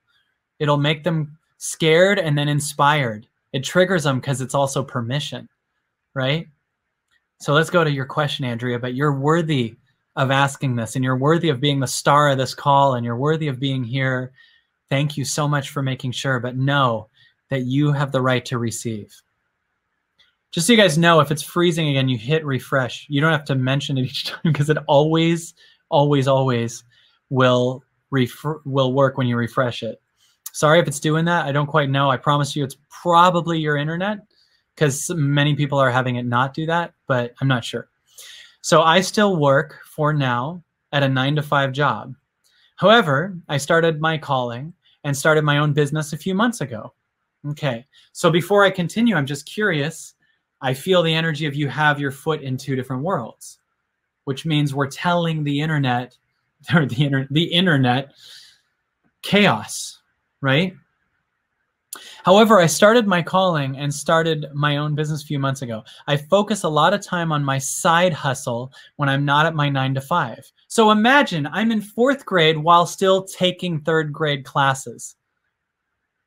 Did you get that? Really hear the energy there. I have a job that's my passion. I started following my calling, and that's the side business. So I'm moving forward to fourth grade while keeping my nine to five job, which is third grade. How hard would it be to be a literal fourth grader in elementary school while also taking third grade and rehearing the shit you already know? Right? Do you hear that? What would happen if you stayed only in fourth grade where the higher level inspired ideas that you need to be receptive for could take it. Right now, I don't make any money doing it. Right. Of course you don't, because you're back and forth. Right. It's keeping the nine to my offer is, and take what you want from this, but in keeping the nine to five job, right, you're actually making yourself unable to catch the reception of the things that you need for this fourth grade job right? You're actually only able to catch third grade ideas while having a fourth grade job. My question is, how do I stay focused on my business and goals of giving back when there is no income from it, coming from it? So we got to look at ourselves. So the first thing we got to do is bring love. Is the job that you have that's your day job, Andrea Heath, also a 10 vibrationally? Does it make your soul happen? Or if I said, imagine letting go of it, do you feel this total relief? Do you feel permission, excitement, freedom, awesome, power, etc. What happens, Andrea Heath, when you when you actually think of the idea of losing the nine to five? I know you'll freak out. It's a five. So you're averaging seven and a half, right? So there's no room for the high level ideas. And it's 40 hours a week. And not only is it 40 hours a week, when you're not working about it, you're thinking, ugh, and you're thinking back about third grade. Imagine if we had to go to and stay in the same grade while we moved to the uh, next grade. It'd be impossible. Now, I'm curious if you think about what your vibration would be if we let go of the five and what could come into our life that we can't see. So, Andrea says, I failed so much already in my life. That is the mind coming up with your yeah but which only exists because you hold on to the old grade. Your mind is bored because it's holding on to the old story. It's holding on to a five vibration. So it has time to sabotage you because you have your foot in fourth grade and third grade but your soul is dying to go to fifth grade and sixth grade and seventh grade. You not only are losing fourth grade, you're losing the ascension of the fifth grade and the sixth grade and the seventh grade and the eighth grade and the ninth grade and the tenth grade because you're still holding on to the weight of third grade. Imagine everyone if you were still dating the person you dated in high school, if you were still at the job that was your first job. Imagine if you were still and you weren't growing at it. Imagine if you didn't expand and you might still have that job, but you had to evolve. You have to grow, right? So, what could happen if your soul job suddenly was able to receive the vibration that matched the level of the job? Your calling took you beyond that grade. Your calling said, I'm worth this. But the moves you're making say, I'm worth this. So we got to look at what would happen if we let go of this and moved here. What would happen? So what shows up for me, Andrea, can we call you? There has to be a certain internet you have, so I don't know if it's going to work, but I'm going to do what I can to pull you up onto the screen and maybe even have you Kalego really quick to show you guys what I'm talking about. But Andrea's pain is she's actually making money more important than her soul by keeping a five job. Can you see that? Okay, Andrea says she's, I can call her. We'll see if she hops on the screen. I don't know if she's going to come on or not because it depends on if she has the right internet service or the right, there's like five factors. It works. Andrea Heath. Hi. So honored to be with you. Thank you. So Ladies and gentlemen. Oh, sorry. Please say what were you saying? I was saying it's so nice to see you. Nice to see you too. Ladies and gentlemen, welcome Andrea Heath. I can already feel you. I can feel your body. Check this out. Has has blown into fourth or fifth D consciousness, and you're still acting from third D consciousness. Do you get what I mean by that? Hundred percent, yes. Yes. Your body is in a more expansive place, and you don't trust that it actually will still take care of not only the money, but the fulfillment, the freedom, all the other things, the creative ideas. So, what I actually can feel right now is a combination of total openness at the same time with an apology for your openness. And the truth is, your ego is horrified of the infinite power of love that you are. That's so scary. It's so true. Right? Do you feel that? yeah, no, absolutely. I I feel like I've spent so much of my life like almost pleasing others or um, doing what appears to be right. Yeah. Like the book and what? it doesn't feel right. So now when I work on this side hustle, it's like, this is it. This is what I'm supposed to do. This Yeah. is what's going to help me and help others and change the world. Yet at the same time, I'm still hanging on to that. What Yeah. would my parents say? What if I fail again? So it's your parents. That's a huge deal. So your parents' consciousness is talking through you. Do you get what I'm saying? Yeah, absolutely. Your parents. So there's you, what your soul is, and then there's what your parents are, right? Now, what's so interesting is what you're doing right now is probably the worst thing you could do because you have two worlds. Like you could either own the nine to five job, fall in love with it, do what you can to make it a 10, and then let it expand to match you. Or you could let go of it and go over here. Whatever you do is fine, even if you keep both. But how much would I not be able to do this if I stayed a stand up comedian? If I stayed in my old, yeah, you, you're, Sarah Hayward, Haywood points out, you're, it's a side, your soul is a side hustle. And the main priority is the guarantee, the, the parents thing. Now, what's funny is right? what's even funnier is if you quit your job, we forget that you also could still get another job later if it doesn't work. so true. Like we act like every decision we make is like the end of my life. But the truth is, you could let go of it, see what happens. You will cry for a week because you'll not only let go of the job. Have you seen my movie, by the way, the new movie? oh yeah, of course. I saw it like within an hour after. Awesome. Thank you so much. Well, you'll not only say goodbye to the part of you that kept that job, you'll not only say goodbye to the job, but you'll say goodbye to your parents' consciousness. Sarah Haywood, who's a magical being who I know very well and love so much, says she will help you find another job if you need. So, what's going on is Sarah Haywood, who's extremely conscious and aware, is feeling your vibration in my eyes because you're very valuable. You're you are. I can it's weird because what i'm feeling in my body is expansion in my body and a thing in the pit of my stomach that represents the kid that's scared. It's like having like the fastest animal in the world but it's chained to a pole. You know what i mean? Like it's like i want to cut the damn chain because your value when your vibration is hit is going to be so big if right. I know it. I know it. Like I there I don't have a doubt. Like I just know, but it's like it's cutting that chain. yeah It's the actual process of actually doing it. do you know Kalego? Of course. If you guys don't know what Kalego is, that's where we ad lib our future as if it already happened. So I'm going to have you Kalego real quick for me. What happened? And I'm not, now I want you to know we can go back to keeping the job tomorrow, but we're going to make believe that right after this call, you put in your two weeks' notice at the job. This is just for the Kalego, right? So you can go back, you can take it back later, but for right now, would you give me a Kalego and pretend that this call we're doing right now was one year ago. And I remember a year ago you were on with me before I had my New York Times bestselling book, and my biceps were only to here before they got better. Do you remember what happened with you? Would you tell us about it?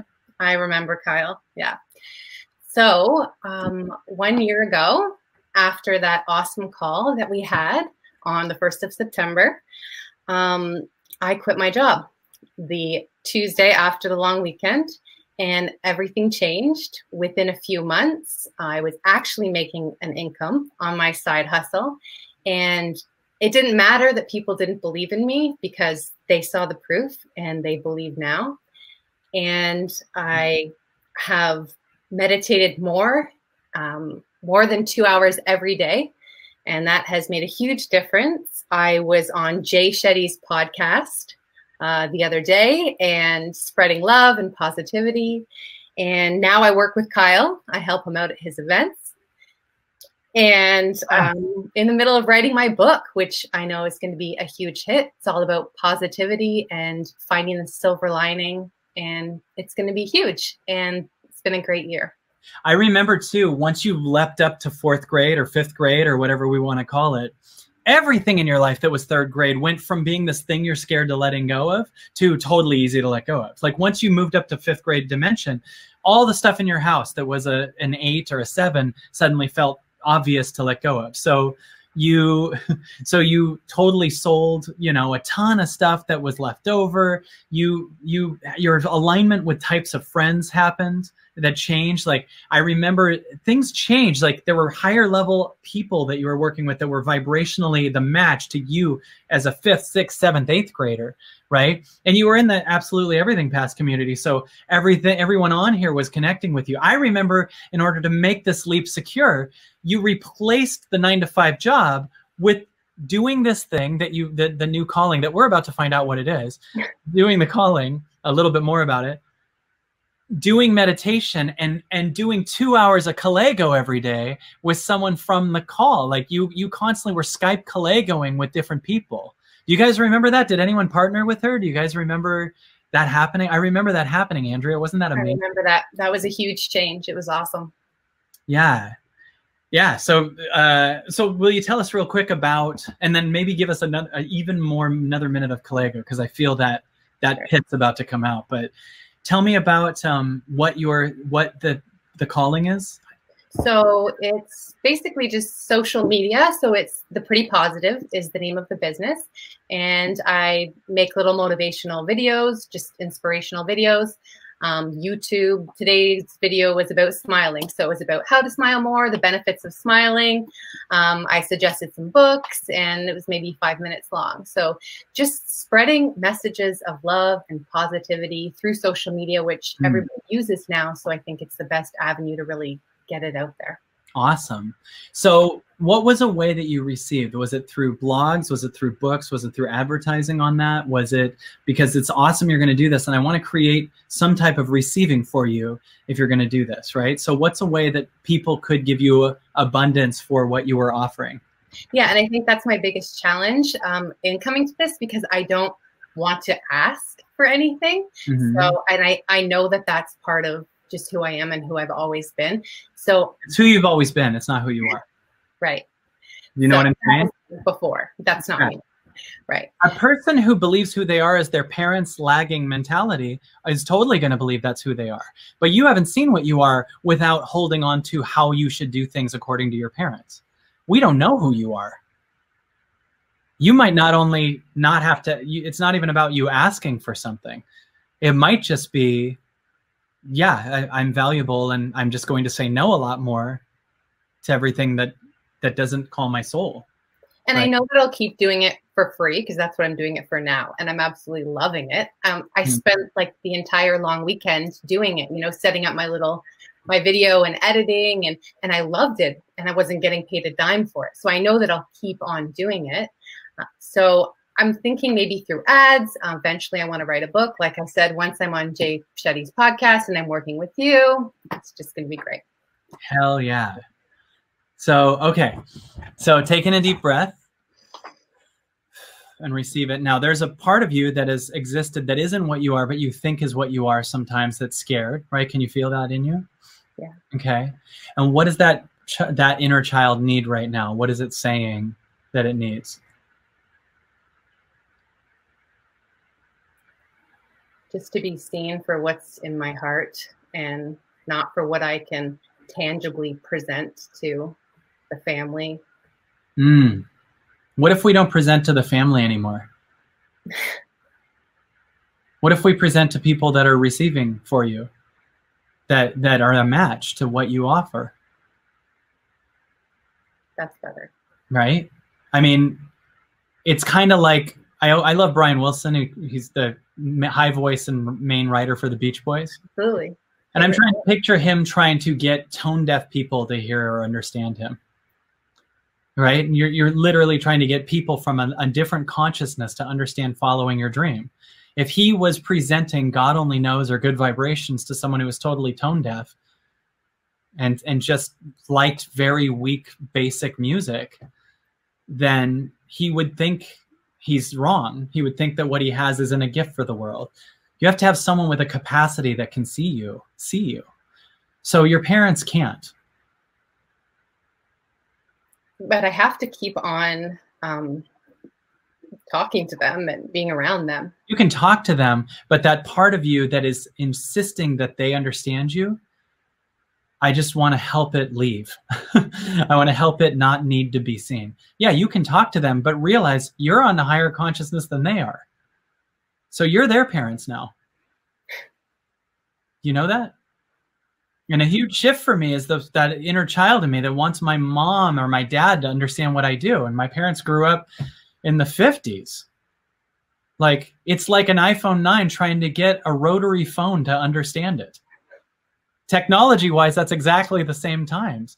They want you to be happy, yeah, but they have the way that they think you should do it. And so when you're trying to convince them, that part of you that wants to be seen, you're going to, one of the things that are coming from your leaping out of third grade to fifth grade is you seeing you and you not needing them to see you and you're you're telling the universe what's true by you getting in that alignment you're going to learn about your powers let me ask you this financially if this didn't work for six months which, which i'm sure not saying are you covered for a while do you have anything for not really i mean i i actually live with my parents me and my kids moved back in with my parents um, after my divorce so we live in the same house as them so, I mean, worst case scenario, I do pay rent here, but I mean, they're not going to kick me out onto the street or anything like that. So, I mm-hmm. mean, yeah, I would say that I'm, I would be okay. 100% we would be okay.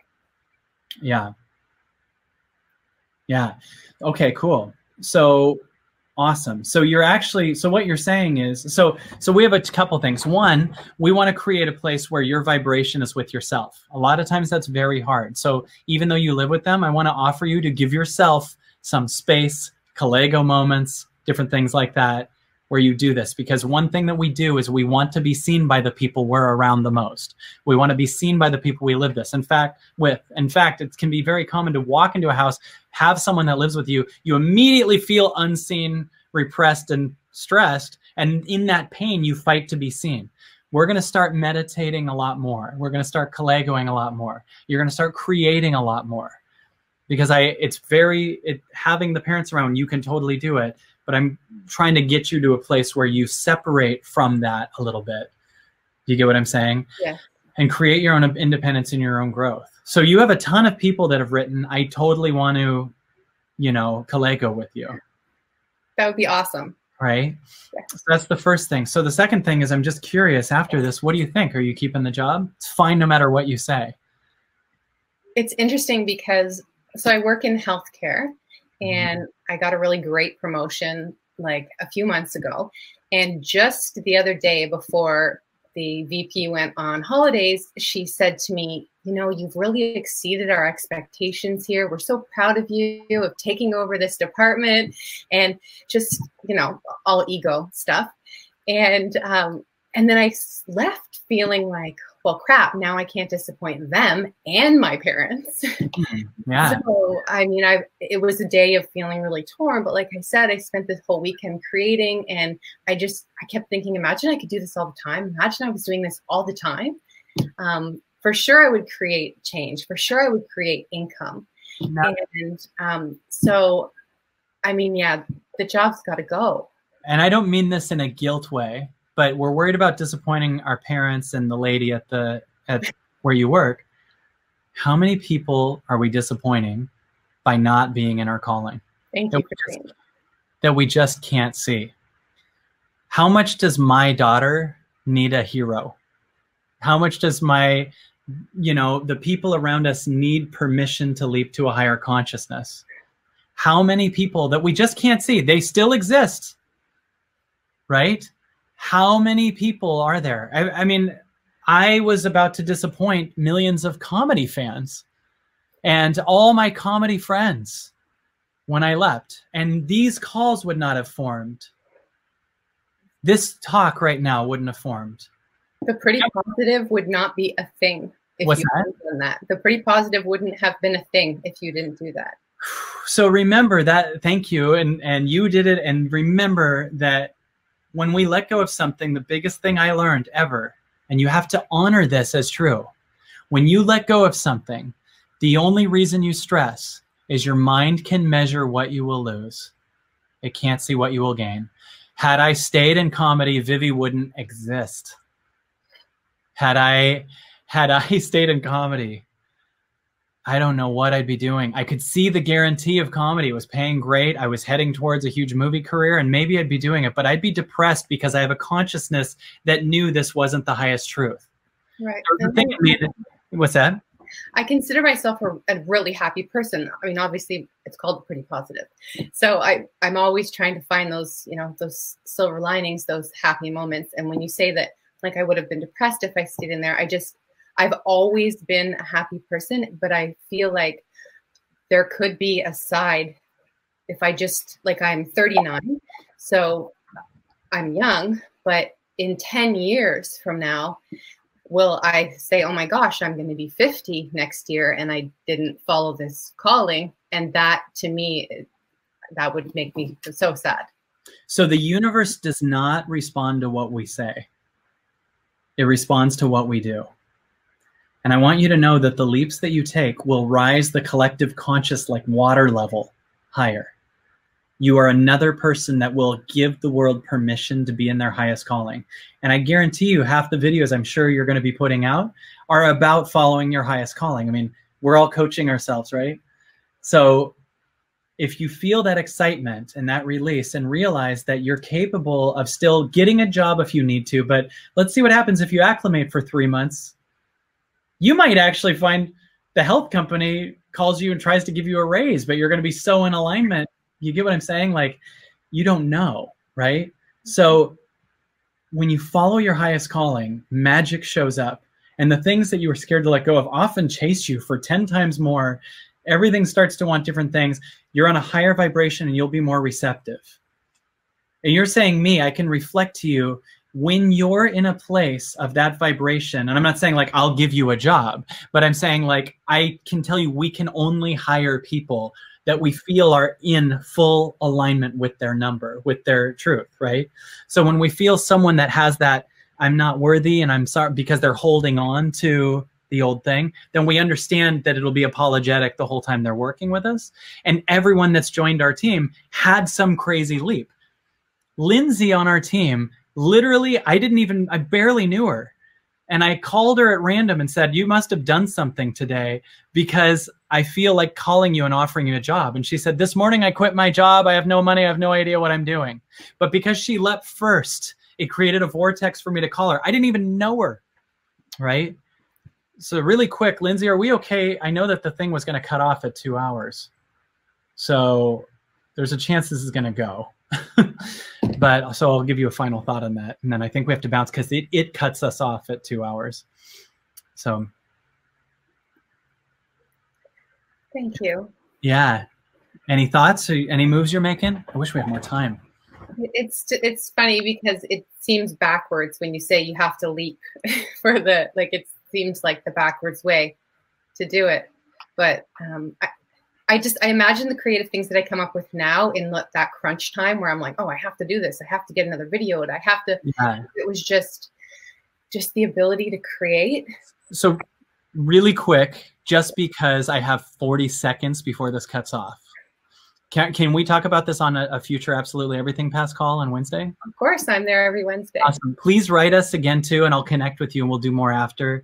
This is here to inspire everyone. And also, you guys, please pick up the new book. It's amazing. I'm sorry to I'm sorry to cut you off. I totally want more, but it's going to cut me off. Pick up the new book, check out the movie, and know that it's been an honor, honor, honor, honor, honor to be with all of you tonight.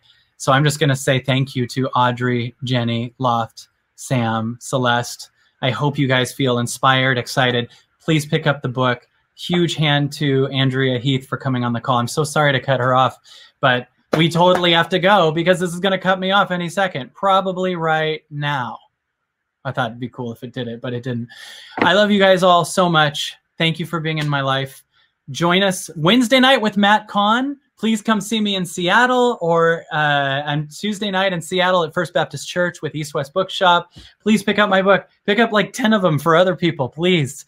If you all got a thousand, we'd sell a million. So if you guys all buy a thousand, I'm going to dare you to do that. It'd be awesome. Thank you for being with me. I hope you got something out of tonight. Meditate, make this call worth so much